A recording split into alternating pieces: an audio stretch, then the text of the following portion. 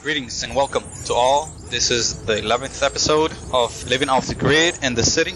I'm your host, Hector Vladimir, on this October 18th, 2015, early fall. Edited and updated April 6th, 2024. Temperatures are cooling fast, but the days are still pleasant. And this episode, I would like to continue with the topic of the technologies, involving the technologies that will enable you to get off the grid, specifically solar technologies. In the last episode, I discussed photovoltaic or PV solar technologies briefly. I will expand a bit more on that and move on to other solar technologies such as solar collectors, heat collectors or light heat collectors, and solar greenhouse devices. And I'll go into the details of those. But to just expand a little bit more on the photovoltaic technology of solar, photovoltaics is a growing and rapidly expanding industry.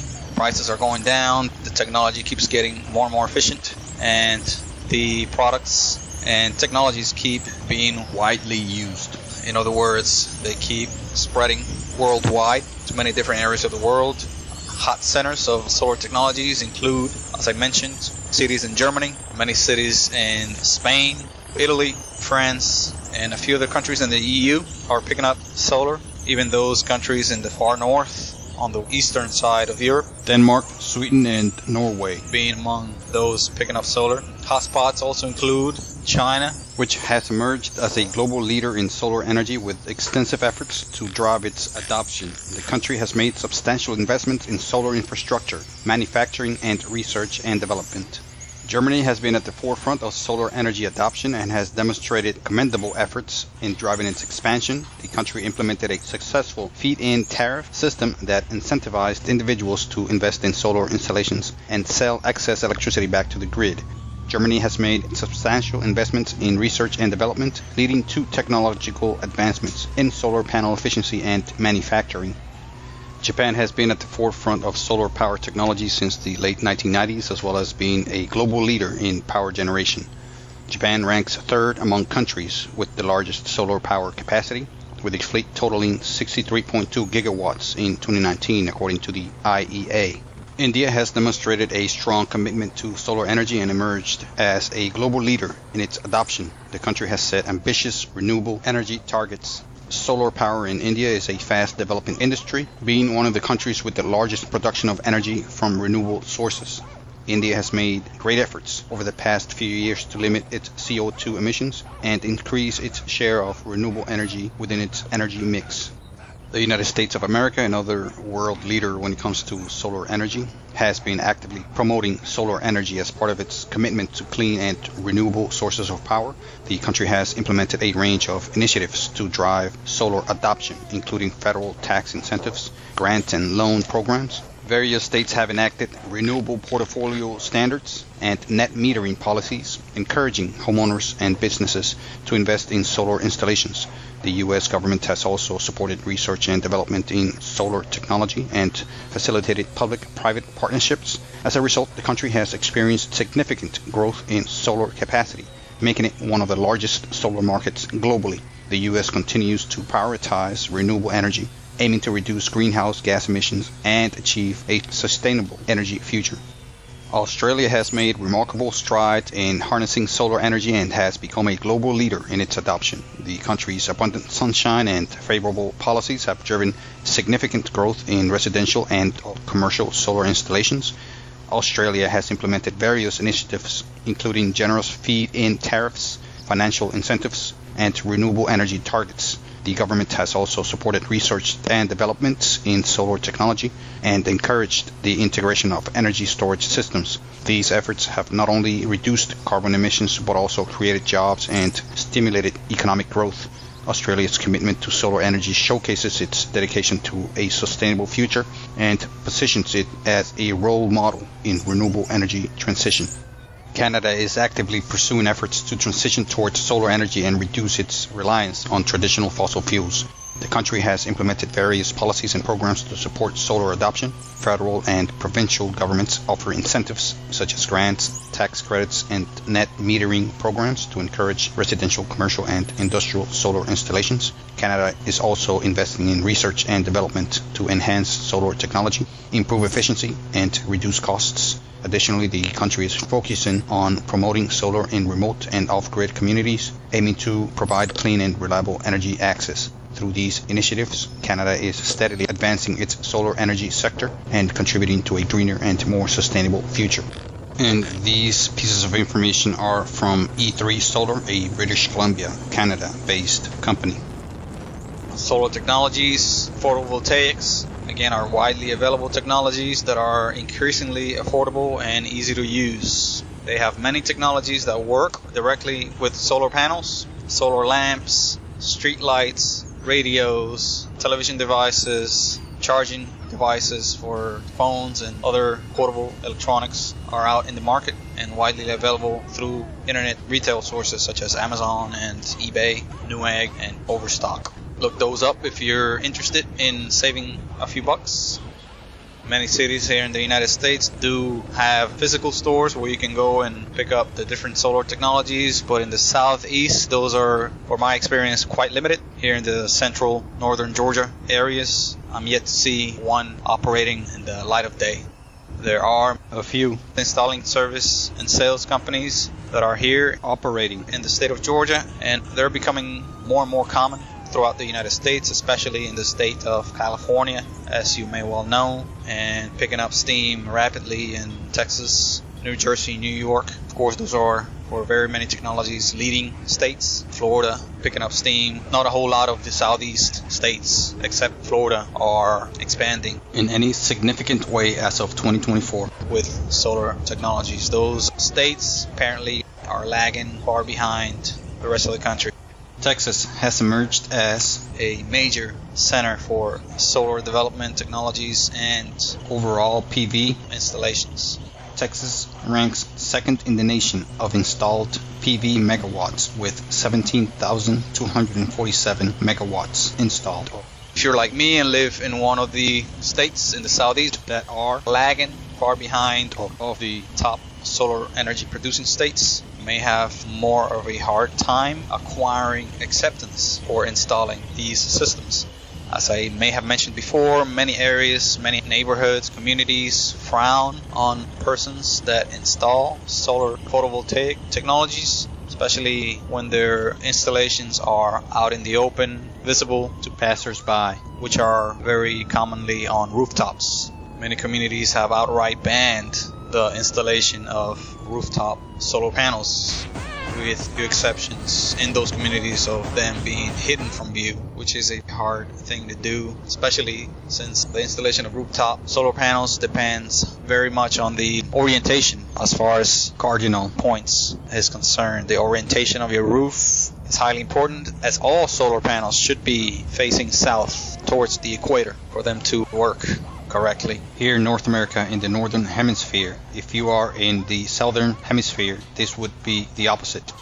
Photovoltaic solar panels do require direct sunlight to work to generate electric energy. The more perpendicular the sun rays are to the solar panel itself, the better. So it's usually here in the southeast region of the United States. It is optimal for solar panels to be at a about 40 degree angle facing south, and that's for permanent or fixed solar arrays. If I haven't mentioned this, a solar array is just a collection or group of solar panels that are attached to a rooftop area via a structure or a rail system or rack system.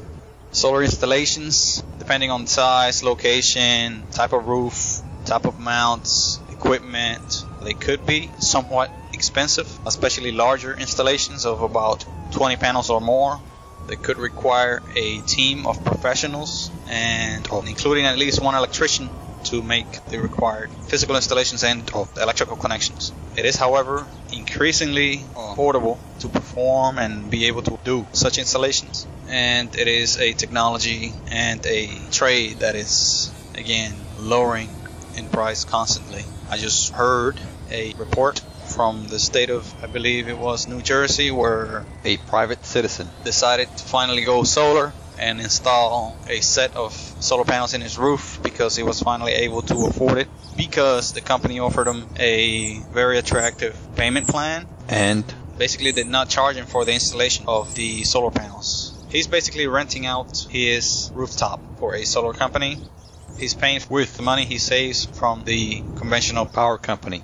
He's paying that money to the solar company, so he's breaking even. He's not, at the moment at least, saving any money, but he's very energy source conscious, and apparently it does make a difference to him where his energy originates from. This is something that's very important to bring. across to potential customers. It is not all about saving a few bucks. It is about so many other things, as I mentioned some many of them before. It is about the environment and it is about choice. It is about an industry, helping out an industry that could revolutionize, that is revolutionizing the current electric energy and power production industry. And is revolutionizing the economy as a whole, revolutionizing civilization, making things better.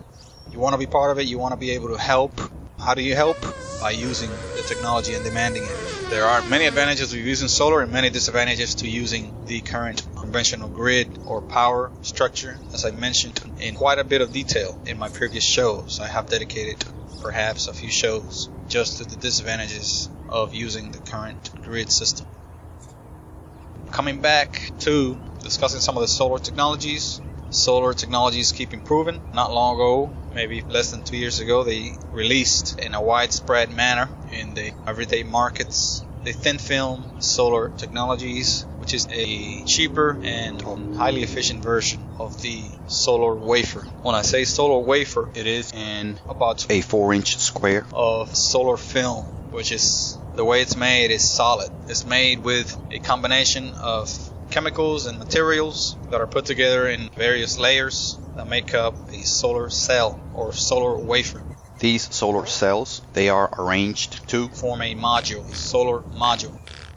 They are usually blue, but, could vary in texture looks. and color, but they are fabricated with a mixture of compounds and silicones Some of them combined with various types of metals. Silicone is a semiconductor. It's a combination of a metal and a plastic, if you can envision that. And it is made in a highly precise and involved. process. There are many Major companies out there producing photovoltaic solar cells. Per TrendForce and PV Magazine, as of 2022, TrendForce has ranked the top six module manufacturers by shipment volume, with LONGi topping the list, followed by Trina Solar and Jinko Solar. JA Solar, Canadian Solar, and Risen Energy rounded out the top six in a year dominated by large format modules. All of the main manufacturers are based in China. Longi Solar took the first spot with 45 gigawatts to 47 gigawatts, followed by Trina Solar with around 43 gigawatts and Jinko Solar with 42 gigawatts to 43 gigawatts. JA Solar came in fourth with 39.75 gigawatts, followed by Canadian Solar with 21 gigawatts and Risen Energy with 16 gigawatts. These solar cell manufacturers They're usually very advanced and capable companies. It is not something you can just manufacture in your backyard or your mama's garage. It is something that you have to basically buy in bulk. You can delve into this and perhaps try to assemble these solar modules together using solar cells. It is a very complicated and skill demanding task. but If you feel up to the challenge, by all means, dive into it.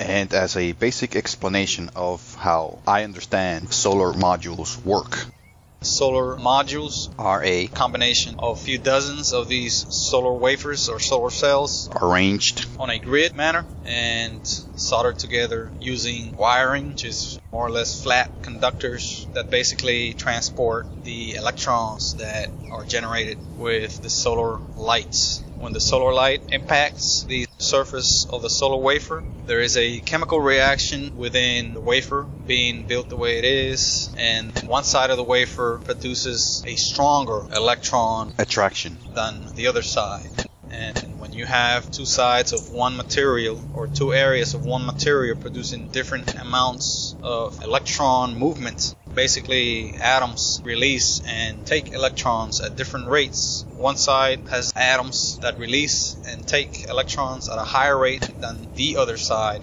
within the same wafer, within the same material. Then you have a differential, an electrical Difference.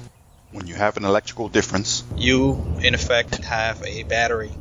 A battery, all it needs is a common wire for electrons to flow one end to the other. Basically, as I understand it, this is what a solar cell does. Electrons flow from one side of the wafer to the other, and electrons are channeled through wiring to the next wafer in line. The next wafer in line has the same chemical reaction with sunlight, and it also has wiring which channels electrons to the next wafer and the next. And this process repeats on each and every one of the solar wafers, therefore creating electrical current which ultimately is channeled to one end of the electrical wire that comes out that is attached to the solar module. There are two main wires that are attached to the solar module, one for negative current. and one for the positive side.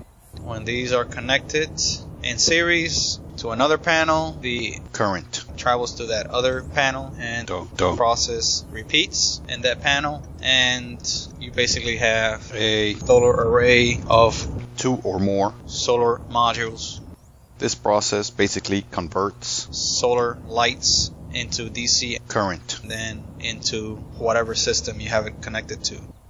A solar energy system usually is composed of a solar module, related wiring, a battery, which before it hits the battery, it goes through a battery charge controller, which is a device that controls the amount of energy that goes into the battery. As you may know, batteries cannot constantly charge or overcharge Because they have the possibility of exploding or catching fire, melting if there is too much charge. So the charge controller, which detects when a battery is full, and essentially cuts off charge before. the battery gets overcharged. And that is basically how a solar system works from the batteries. Then it's just a matter of connecting it to either a DC load, which are your devices, appliances, or if you're going to use AC Or DC energy or current needs to be transformed or inverted into AC. That's why they call that device that inverts DC to AC an inverter, and it basically multiplies the voltage, amplifies the voltage from about 12 volts or 24 volts that may come out of the battery into 120 plus volts needed for alternating currents or AC currents. Of course, to multiply 12 volts, you have to increase the power times 10 to get 120 volts AC. So there is a energy loss or potential loss from 12 volts to 120 because you have to basically multiply and When you multiply electrical power, you lose current. You lose ability to have more current. Less voltage, more current. More voltage, less current. That's just a law called Ohm's law, which if you have any kind of experience or training with electricity, it's the core concept. of electricity. Solar energy, although it sounds a bit complicated, it is a very simple technology. to work with It is a very old technology, not only the non-photovoltaic side of it, but the photovoltaic basic concept goes back to the 1800s, credited to be discovered by a French scientist. Edmond Becquerel Certain materials react to light.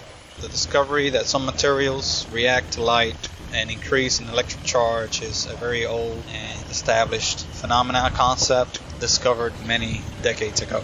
So solar is nothing new. Solar has been improving over the years.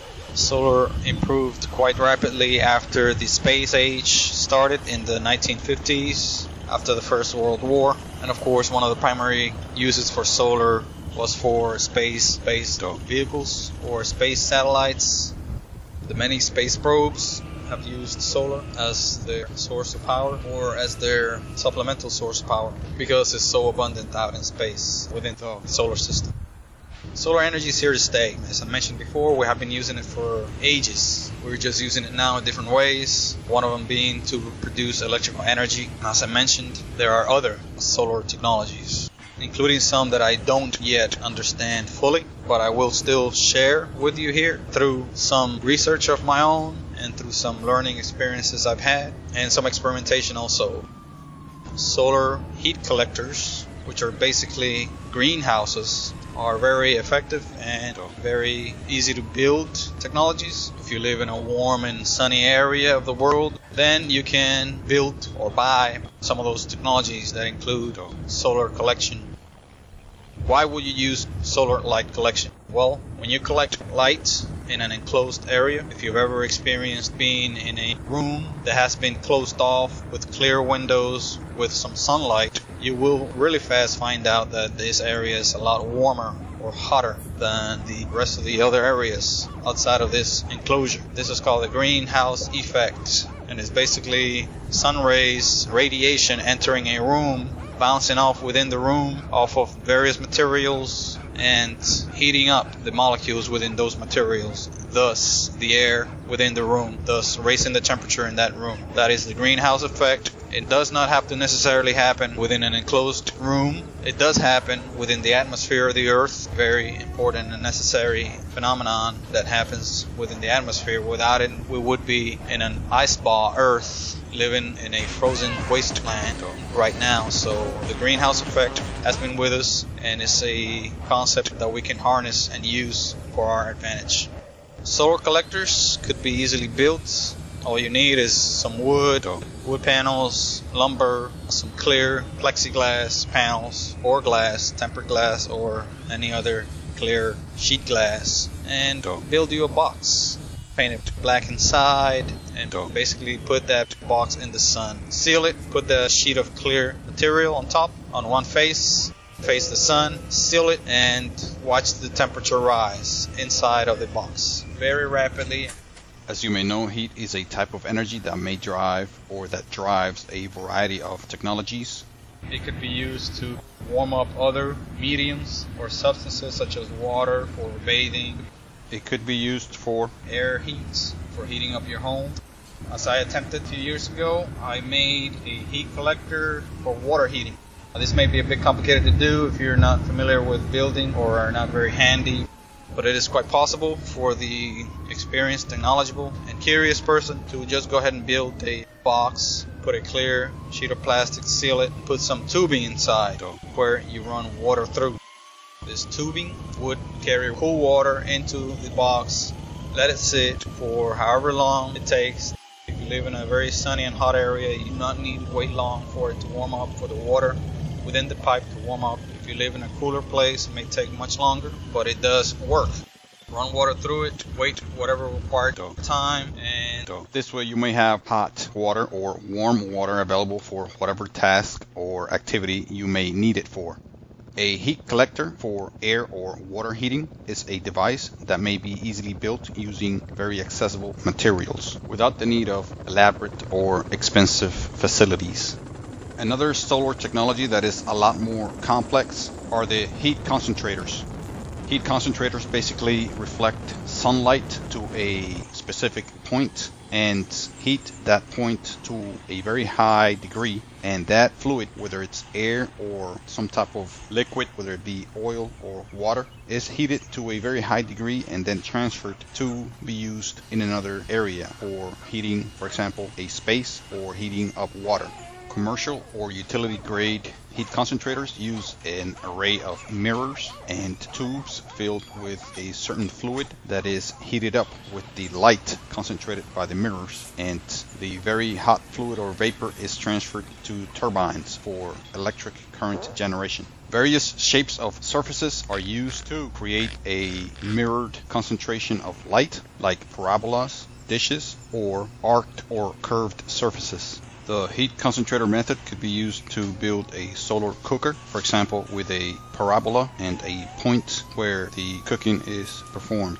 Light heat concentration may be achieved via various shapes of glass, such as concave and convex, where light such as sunlight is concentrated into a point to raise the temperature.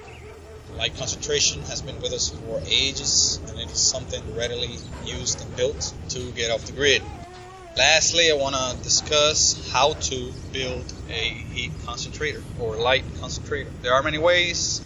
One way I recommend is getting a satellite dish.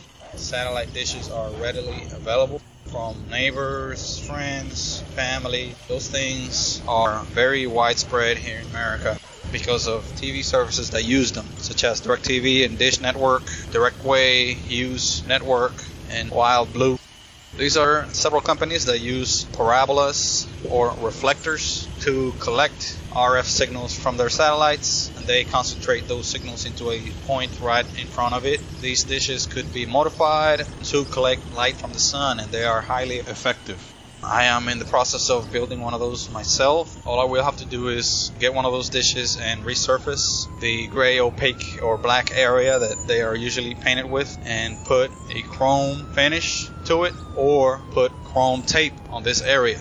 You basically have a curved area that reflects lights on a point in front of it and just by having a reflective surface you can very well collect lights into this point in front of the reflector to do various things for various applications. Some of those applications include cooking, heating water, heating air. The most popular application for that is cooking. You can cook and heat up water very readily with these dishes all you got to do is put a fixture to put some kind of container where the uh, point of concentration is, which is usually marked by where the end of the arm that sticks out of these dishes is. You can basically locate this point of concentration very easily in these dishes. You replace the eyepiece that comes with them and note, mark, do whatever it takes to mark where the uh, location of the eyepiece is, and that's where your point of concentration is. That's where your light will be concentrated. You can also use some kind of reflective material. See where the light is being concentrated, where it is the brightest. Just move it back and forth from the dish and you will see where you should put your medium for heating. Thank you for listening to this podcast. Please look for the next episode soon and please ensure to share this with your friends and family. And please like this content and subscribe as a sign of support and for me to continue to provide this type of content to more people like you. Lastly, if you wish to support this content further, please visit the links provided in this publication. Thank you.